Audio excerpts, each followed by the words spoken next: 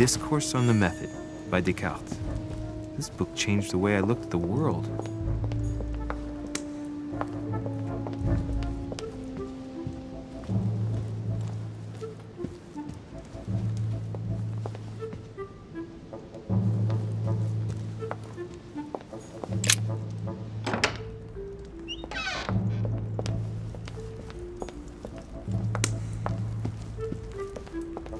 Only person sizing me up here is that monumental Zeus. It can't be here.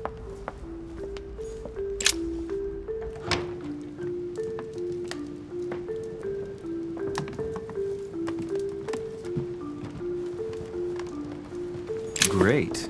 Honey. There's a pattern with five circles on this chest.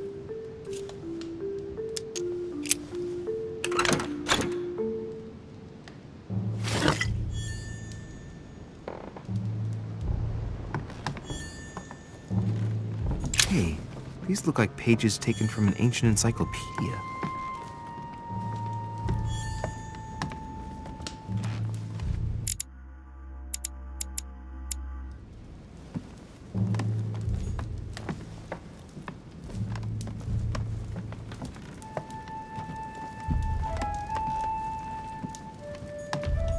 A bezant from the Byzantine Empire, a coin often used during the St. Louis era.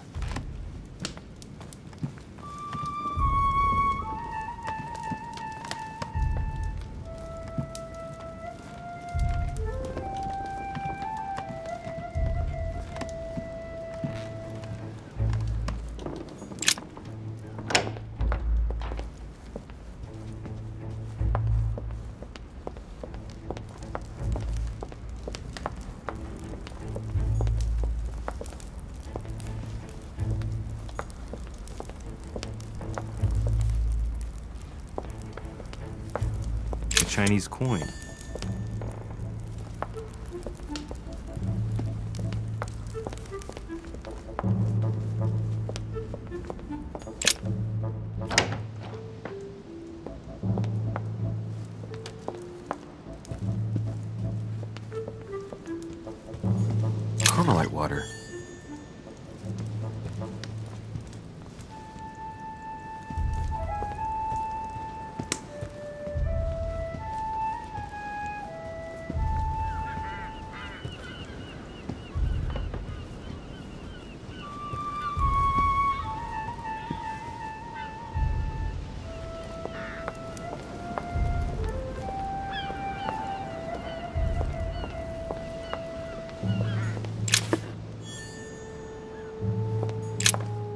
Is surrounded by a triple circle.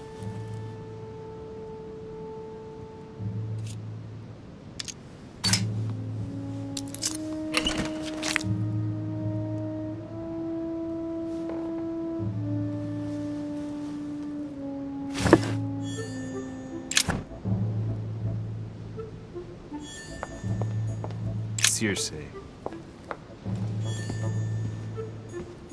Dining on ham. That's very appetizing.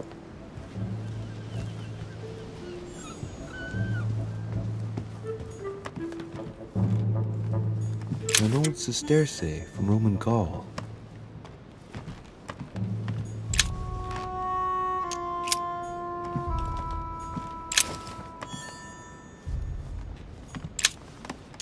Amber crystals.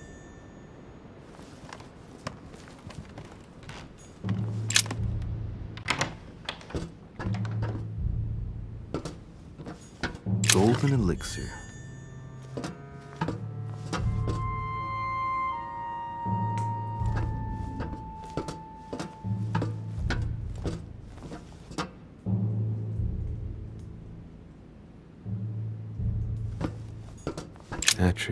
The Miller brothers. Mother expressly forbade me from reading it.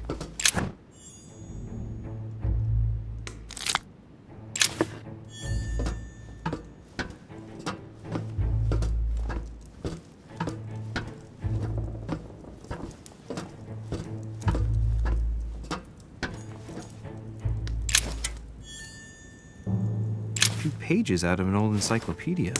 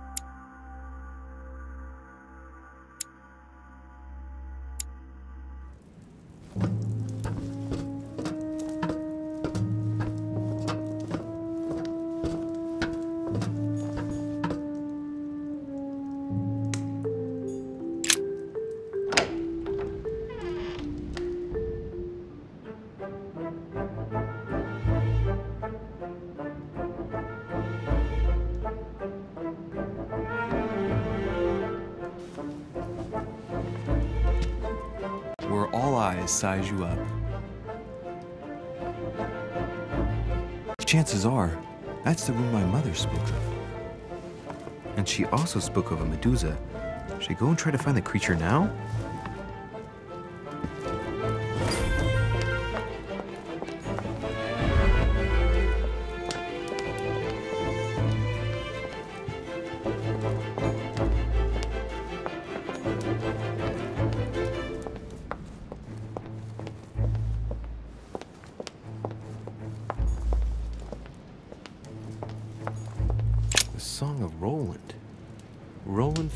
His death is near, his brain is Amber. by either ear.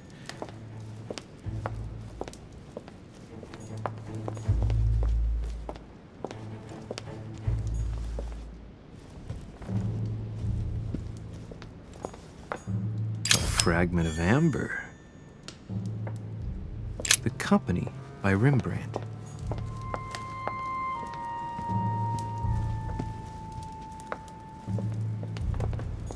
Carmelite water.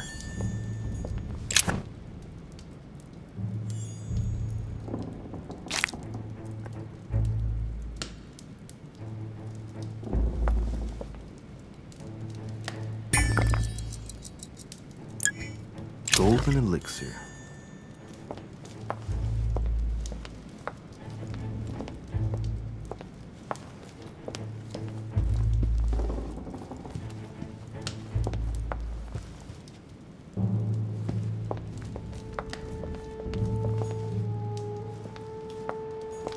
Hey, a Russian ruble.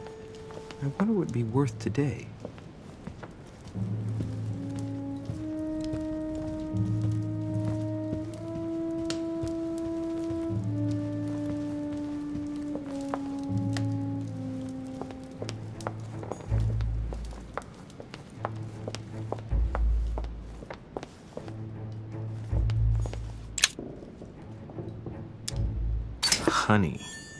Couldn't have hoped for better.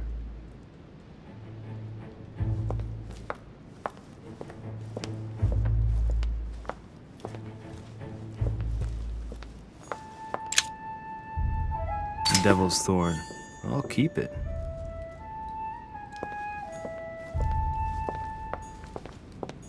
Hmm. A painting with no name.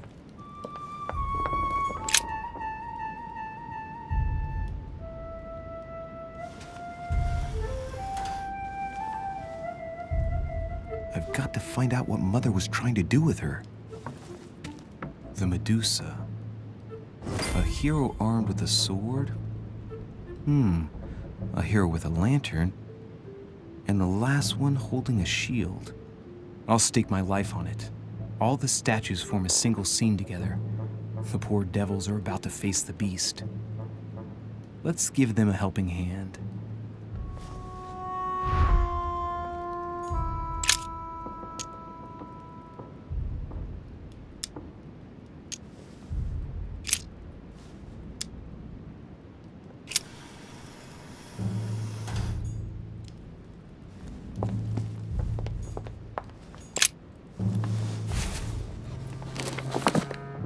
Origin of Myths, a reinterpretation of legendary creatures.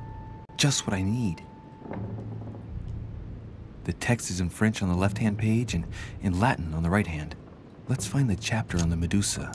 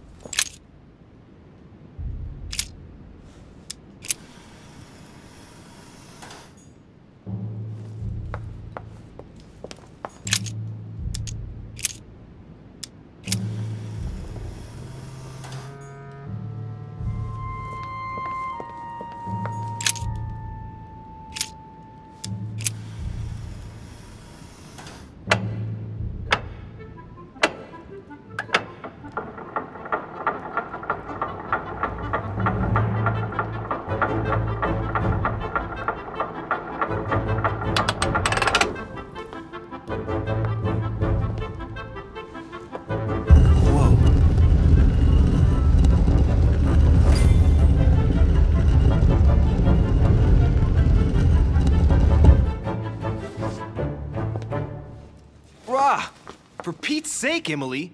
You scared the pants off me. Don't ever do that again. Well, keep your nose out of my business then. I don't know what you're talking about. First my room, now here. Stop following me, you're becoming a nuisance. Wait a minute. Are you. You're not implying that I'm here to court you, are you? Oh, Louis, I'm just stating the obvious. You wouldn't be the first, rest assured. Yeah, this is embarrassing. The worst thing is it, it seems to be working. Stop fooling around and tell me what you're doing here. I was feeling a bit peckish. I went in search of the kitchen and I ended up here. Your sense of direction is mind-boggling, isn't it? Well, no matter. I'll tolerate your presence this one time. Now, since you're here, make yourself useful. Look around on your side. I'll do the same on mine. And if you find anything of interest, let me know. Oh, yeah, in your dreams. At your service, madam.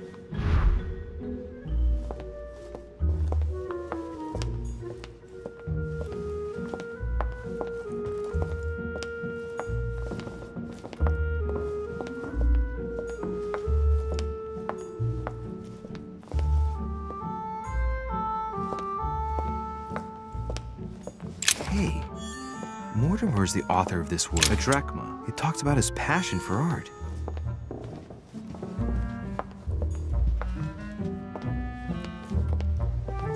Well, looks like a pamphlet on different political regimes, written by Mortimer himself.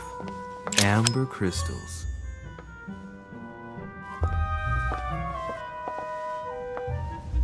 Here's something interesting. A manor in Maine, hundreds of acres of land in Catalonia, properties in Shanghai. It's incredible. Some of these deeds are over 600 years old, and all signed by the hand of Mortimer. I wonder if that's what inspired my mother's attention. How come all these documents have Mortimer's signature on them? Do you think all these properties really belong to him? See those fine scratches around the words? Yes, and? The ink barely spreads on the paper. It spreads exactly the same way on the signature. The deed was written using the same ink. If it is a fake, then it's a professional job.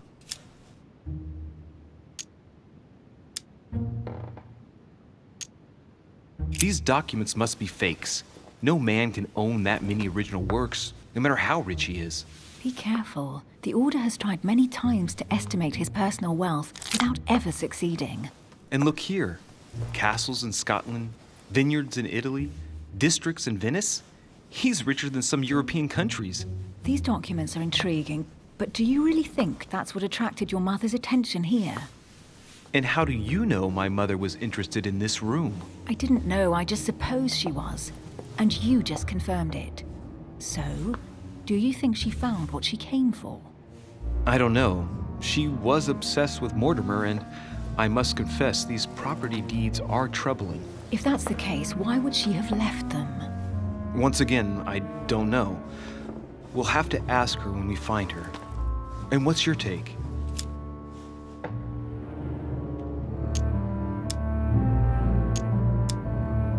Mortimer's collection is unique, isn't it? That's an understatement. No doubt he has a major passion for history and fine art, or getting gifts.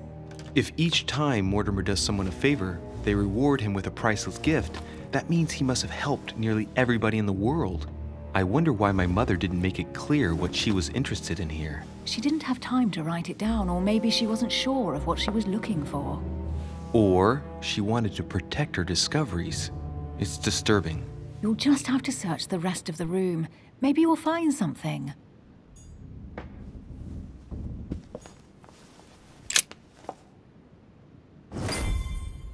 What is that you found? A cameo pendant. What's going on? Nothing. For crying out loud, Emily, you lunged for that jewel like your life depended on it. Tell me what this is about. No. I can't trust a man who sneaks into my room in the middle of the night.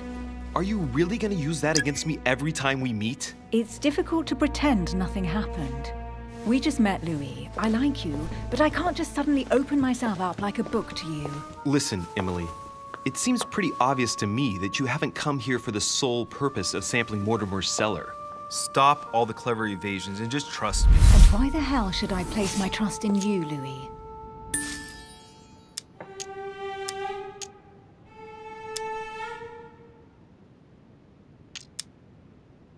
You trusted me last night. My being in your room was a bit odd, I'll give you that. And you might have taken me for a thief, or worse. But I managed to explain myself, right?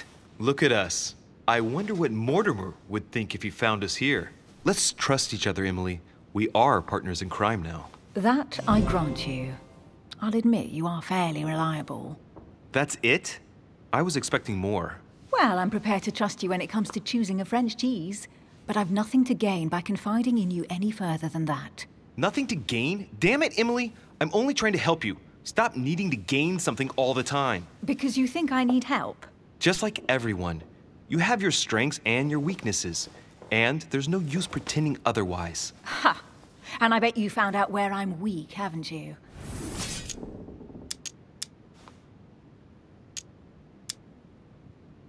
You think your scathing wit protects you, but in fact, it makes you blind.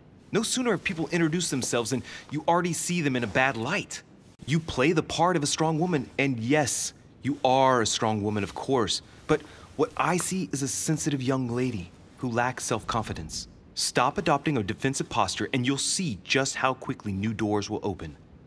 There is some truth to what you say.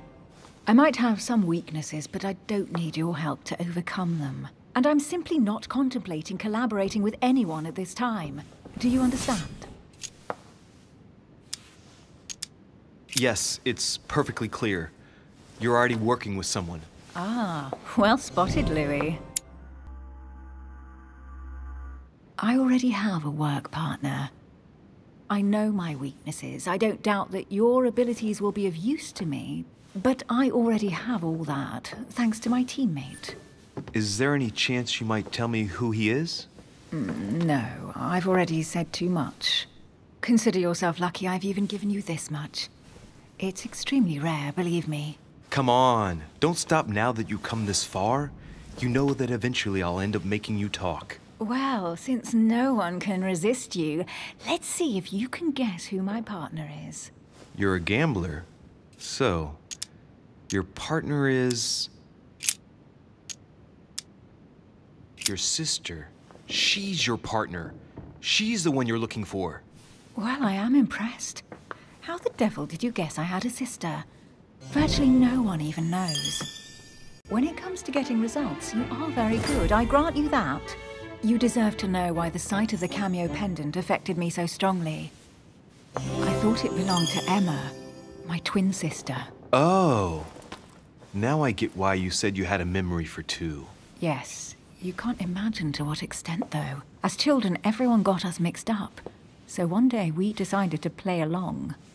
Since then, we have become one and the same. We have officially erased the identity of my sister Emma. Emily Hillsborough. The woman with two faces. Clever. But isn't it complicated? How do you make it work?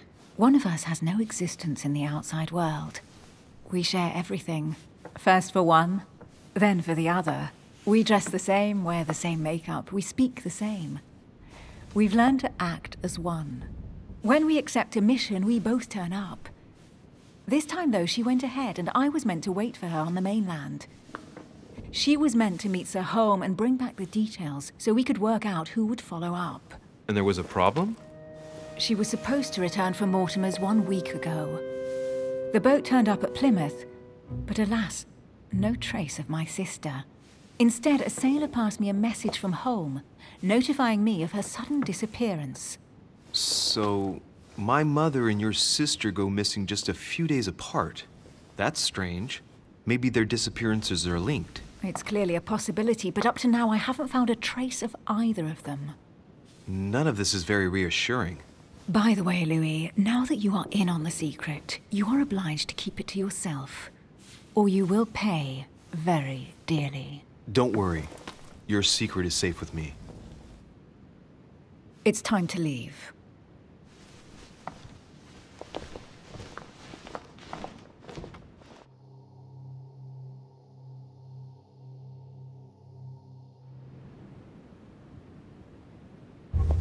So, what do you think of our first adventure?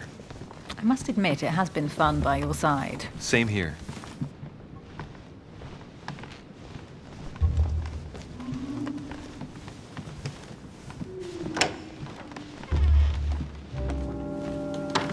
Oh, she's been drinking too much again. Louis, I need to talk to you right now. Good evening, Elizabeth. Actually, this is not a good time. I'm begging you, please, don't leave me alone. I'll be waiting for you in your room, but don't be late.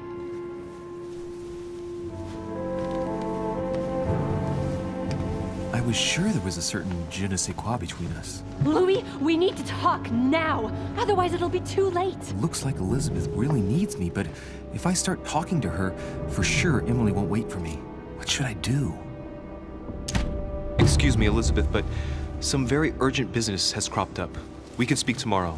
No, Louis, don't leave me alone. They've come back. Good night, madam.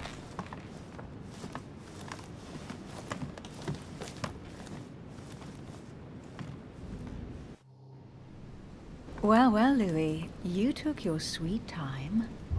What did our poor Elizabeth want?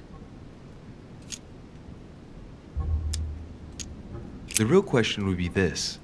What exactly are you doing, Emily, in my room? I've enjoyed our discussions very much, and I had hoped that we could continue them. Emily? Have I misunderstood something here? What are you doing in my room? And for a while now, the question has been nagging at me. And that explains why I now find you here in my bed. Go ahead. Ask me the question that's been burning at your lips. I know your mother was here to meet someone, but I can't figure out who. Oh, so that's what's been hiding behind all this. We are both members of the Order, Louis. Let's try to be honest with each other. I have followed with great interest your affair in Paris, in connection with Mr. von Borchardt. You managed to steal something from him, if I'm not mistaken. Are you talking about the Book of All Mysteries? Al-Azif? That's right, Louis. A valuable bit of plunder, isn't it? Yeah. When we finally found it, we took it. And where is the book right now? Amazingly, it's right here. Mother took it with her when she came. This is quite fascinating. But just what did Sarah expect to accomplish here? My mother came here to find out who Von Burchard planned on selling the book to. And did she find out? I have no idea, but I think she thought it would be someone invited to Mortimer's next party. You mean one of us here now? That's what I think. It wouldn't be you, by any chance. Unfortunately, no. I was planning to steal it myself. Thank you for all this information, Louis. Right, enough chatting. Come and join me instead. Emily, don't take this the wrong way, but I really don't think this would be a good idea right now. I see. You don't think it would do you some good to relax and clear your mind a bit? That's a good point, but seriously, I'd rather we didn't. I understand, Louis. I won't insist any further. Thanks, Emily.